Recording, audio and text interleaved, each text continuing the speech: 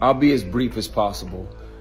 Instagram specifically, TikTok and Facebook, y'all could do better as well.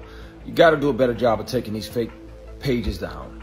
Um, somebody literally just sent me the screenshot video of one of the fake pages that I've been reporting for the last 24 hours, trying to scam them out of $20,000.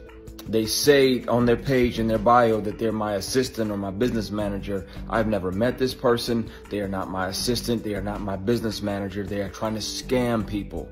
And if she was bold enough to, or they were bold enough to do this to one person, I'm certain this isn't the only one, but at least we got some video. Thank, thank you to the person who sent me this.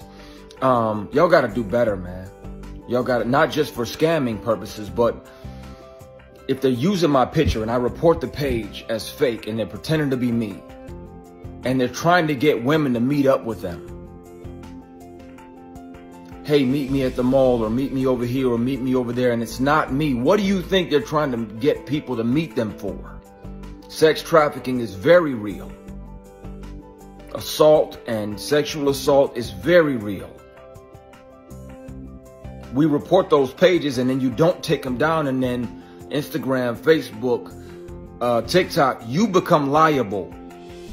And, and don't nobody want one of those unfortunate events or one of them despicable, disgusting, disappointing events on their hand, but that's going to be your responsibility and it's to be on your hands if y'all don't start doing a better job of taking these pages down, these fake pages, because they trying to meet people. They trying to meet women out here, pretending to be me, pretending to be other, other public figures or whatever so stop letting them scam people.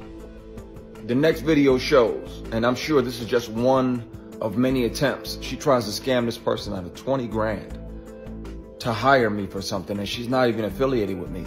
I've reported the page. Multiple people from my social media family have reported the page, and you are still leaving it up, which means if something happens, it's going to be your responsibility. And I hope nothing happens because I don't wish that on anybody, but y'all got to do better, man. Come the hell on. Watch the video and see. 20 grand and y'all letting it happen.